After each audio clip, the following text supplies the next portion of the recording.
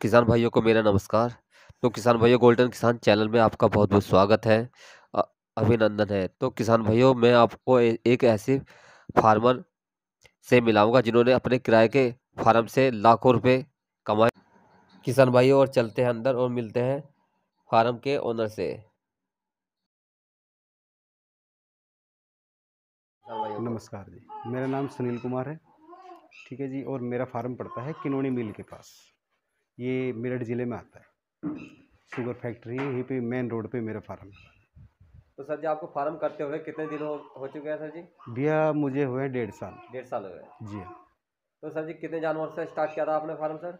भैया मैं लेके आया था शुरुआत में तीस मा वो गिल्ड्स लेके आया था। तीस गिल्स लेकर आया था। हाँ तीस गिल्ड्स लेके आया था और तीस बच्चे लेके आया तीस बच्चे लेकर आए था। जी हाँ। तो अब करंट में आपके पास कितने जानवर हैं सर जी? मेरे पास में चार सौ प्लस जानवर हैं। चार सौ प्लस जानवर जी। तो सर जी एक बार अपने फार्म की विज़िट करवाइए सर। हाँ जी चलिए भाई साहब। क्या गिल्ट है क्या है सर ये मादा है दूसरे की जी। दूसरे ये अभी बच्चों से हटाई है। जी जी। और इसमें ये बीस है। बीस मादा हाँ। अभी बीस मादा हटाई थी दूध से। जी जी। तो ये अभी इसमें ये है। भी ये मान लीजिए क्रॉसिंग पर आ रही जोन सी सूरी क्रॉस हो जाती है उसको फिर यहाँ से हम अलग निकालो। ठीक है। सर कितने दिन के बच्चे हैं ये हैंगे जी अपने पचास दिन के बच्चे हुए हैं। पचास दिन के बच्चे। हाँ जी। तो इसका केबिन साइज़ क्या है सर? ये भी बीस बाई बीस का है। है। इसमें हमारे सौ बच्चे तक आराम से आ जाते हैं। तो बच्चे तक आराम इसमें ये अभी हमारे अस्सी बच्चे हैं। अस्सी बच्चे हैं सर। ये। हाँ। ये अभी इन जो मादा मैंने बताई थी उन्हीं से दूध से हटाए थे। कुछ जो बच्चे कमज़ोर हैं वो मैं आपको आगे बताता हूँ।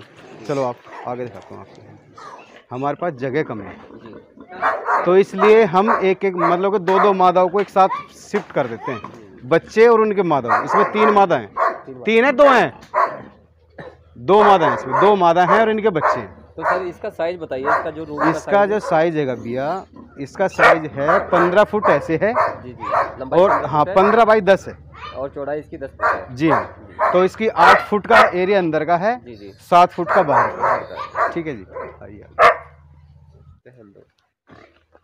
ये थोड़े बच्चे हैं जख्मी टाइप के जी। इन आपस में बच्चों ने लड़के कान काट दिए थे। तो ये अलग निकाल दिए हमने। जी जी।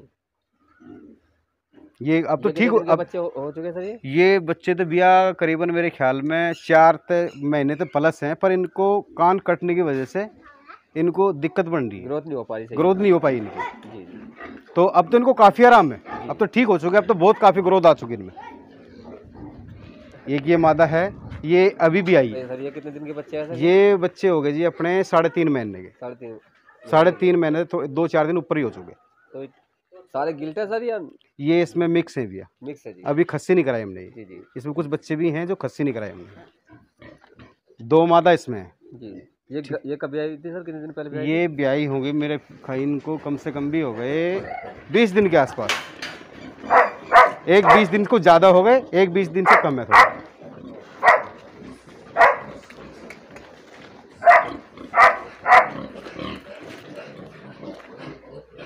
कितने दिन हो गए कितने दिन के बच्चे सर ये?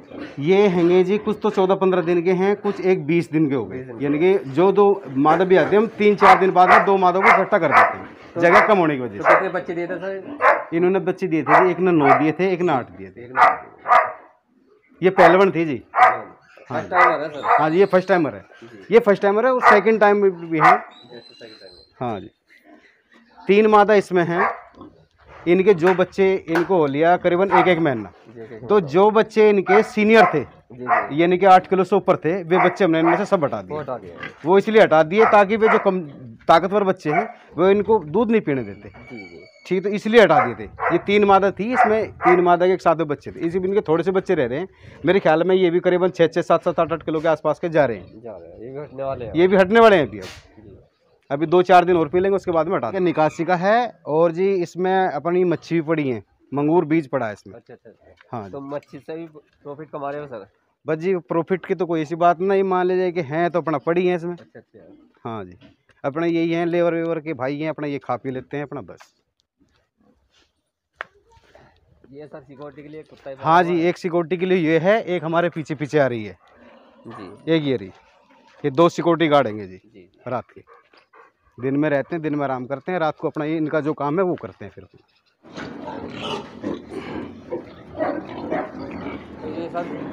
ये अस्सी बच्चे हैंगे भैया। ये छः महीने के हो चुके पूरे कंप्लीट छः महीने के हो चुके अब इनका वेट हैगा, किसी का सत्तर किलो का है, किसी का अस्सी किलो है। और बाजा बाजा एक कुंटल का भी हो रहा है भाई और बाजा बच्चा है जो पचास किलो के आसपास का भी है।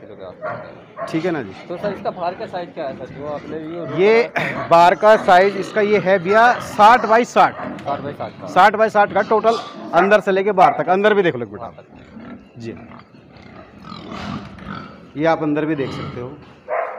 इतना ही मतलब कि इससे डबल अंदर है बाहर कम है। सिल्ली गेरी हुई है सर हाँ जो ऊपर सिल्ली है। ये मतलब कि गर्मियों में वो रहता है। है। हाँ जी।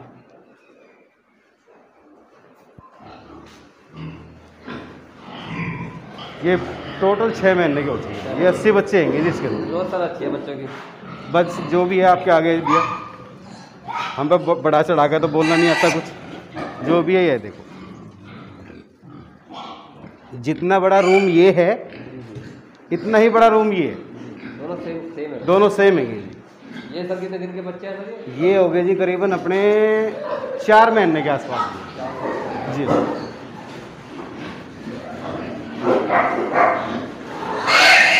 बाजा बच्चा शैतान होता है जिस बच्चे के मुँह खून लग गया ना। उसकी आदत नहीं जाएगी बिल्कुल भी कभी भी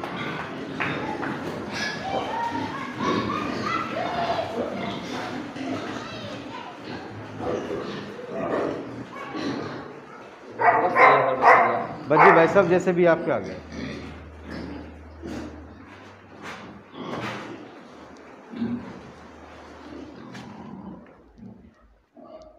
पता ना ये ये भैया जनरेटर भी लगा हुआ है। तो इमरजेंसी के लिए सर जनरेटर है। हाँ जी इमरजेंसी के लिए जनरेटर भी है सोलर पैनल तो ये है सिर्फ़ सोलर पैनल तो ये इमरजेंसी लाइट होती है वो जलती है। वैसे हमारा इन्वेटर सिस्टम सब चीज़ें लग रही हैं। तो सर ये खु- फ़ीड खुद की बना के खवा रहे हो हाँ भैया जो बच्चे होते हैं अपने 20 किलो तक के बच्चे होते हैं उनके लिए बनाते हैं हम अपना उनके लिए तो मंगाते हैं ड्यूस का स्टार्टर जी जी जी। ठीक है जी।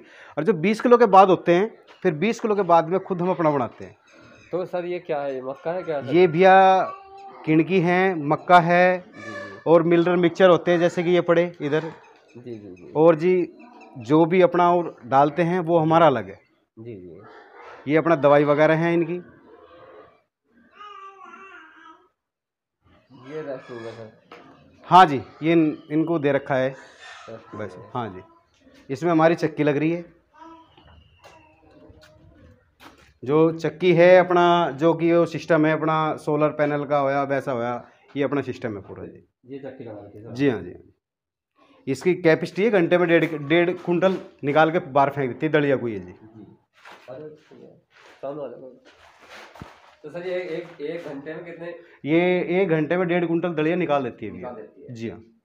मक्का को निकाल देती है दलिया को। वैसे गेहूँ वगैरह तो पीसेंगे तो ज़्यादा निकालती है। मक्का में थोड़ा टाइम लगता है। मक्का में थोड़ा टाइम लगता है जी। तो ये ये मक्का है जी भाई साहब? सारी मक्का है। जी हाँ मक्का है।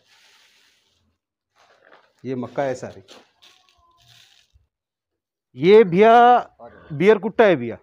ये क्या है सर ये? ये ऊपर है वो कहते हैं ना कभी कभी इंसान को नसीब नहीं होती। जी जी जी। ये वो है अपना क्या बोलते हैं इसको? किशमिश जी जी। ये किसमिस है भैया। जी जी। तो हमारे पास किशमिश का वेस्टेज आता है? जी जी। तो ये खवाते हो ये खवाते हैं। किशमिश का वेस्टेज है और अपनी खुद की फ़ीड। जी जी। वो मिक्स करके वो डालते हैं। छोटे बच्चे को आप नहीं नहीं छोटे बच्चों को स्टार्टर देते हैं। जी जी। और जो बड़े बच्चे हैं उनको अपना खुद का बनाकर वो डालते हैं। जी जी। जो प्लस हमारे पास जो मैंने दिखाया था वो जो बड़े वाला माल था जी उसको हम ये डालते हैं। जी जी। जो ये वेस्टेज हो गई। ये हो गया। और जी एक वो खड़ी है रिक्शा। हमने तीन चार कोलू ले रखे हैं। जी जी। उनकी मेली आती है। तो उनको डालते हैं ये बड़ा आइटम और ना बाकी को डलता है फ़ीड तो सुनील जी अपना एक्सपीरियंस बताइए कि तो आपका पिक फ़ार्मिंग का कैसा एक्सपीरियंस है? किसान भाइयों को बताइए। भैया एक्सपीरियंस की तो ये है अब तक मैंने आपको बता रहा हूँ मैंने तीस गिल्ड्स लेके आया था ठीक है भैया? और तीस बच्चे लेके आया था। मैंने डेढ़ साल हुए मुझे फार्म करे को। झूठ बोलने की अपनी आदत नहीं जो बात है सच है तो सच है। मैंने करीबन भैया इसमें से अब तक अपना डेढ़ साल में दस लाख रुपए का माल बेचा है। दस लाख रुपये अब करंट में आपके पास कितने लाख रुपए का माल होगा? अब भाई जी ये तो कह नहीं सकता लॉकडाउन लग रहा है। कितने का होगा कितने का नहीं होगा। पर मेरे पास में हाँ लग नहीं लगभग अनजादा मेरे पास में कम से कम भी मान के चले जा। अगर मंदे से मंदा मान के चले आप भाई पच्चीस छब्बीस लाख से तो कम नहीं है। पच्चीस छब्बीस लाख रुपए का माल है आपके पास? हाँ जी हाँ जी। मेरे पास में चार सौ प्लस जानवर है। तो ये सर मैंने रेंट पे इसलिए ले रखा है अगर मान लीजिए कि कोई भी भाई बोलता है कह ले कि भाई चार पाँच लाख लाख रुपए लग जाते हैं ट्रांजेक्शन में। भाई मुझे तो लगता नहीं जितना चार बीघे का मेरा ये फार्म है मैं अब भी सोच रहा हूँ इसने करीबन ना बनाने में ना बनाने भाई बच्ची पच, बीस पच्चीस लाख रुपये ना लगा दी हूँ ईंट के हिसाब से देखते भाई भी। ये चार बीघे में फार्म है भैया ये जितना भी है।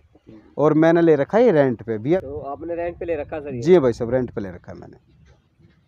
तो जो कोई नया किसान है इसके लिए कैसा बिज़नेस है? सर ये बताइए। भैया बिज़नेस तो अच्छा है कोई गलत नहीं है बिज़नेस पर सबसे बड़ी बात है भैया अगर कोई भाई करना चाहता हो मेरी राय तो ये है अपना खुद का ना बना के अगर उस भाई को रेंट पे मिल जाए ना तो सबसे अच्छी बात है।